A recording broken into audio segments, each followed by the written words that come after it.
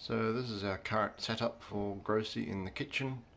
Uh, moved away from this um, because we kept needing more functionality and I thought, ah, I'll just put the web page on a tablet. Got an old tablet, made some nice bits of wood to hold it on there. That works well. So we do all our shopping list and recipes and stuff on here. And then when we're ready to go to the shops, there's a button. Here comes the shopping list. Wow, look at that.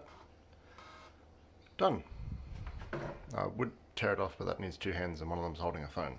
Um, so I've added another button on the side there. It doesn't do anything at present. It just publishes us to the MQTT topic to say button 2 has been pressed. Um, but in the future, I'd probably set that up to print out the list for the fruit shop. Because uh, Aldi doesn't have great bananas, but the fruit shop does. So 3D printed a nice box for it, 5 volts on the side, printer in the top. Know, I'm gonna put some magnets on the back of it so I can magnet to the fridge somewhere. Um, but yeah, sweet.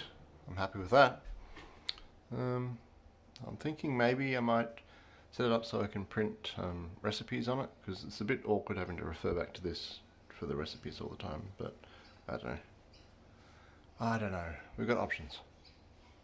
Um, I think that's about it. Project done. Bye bye.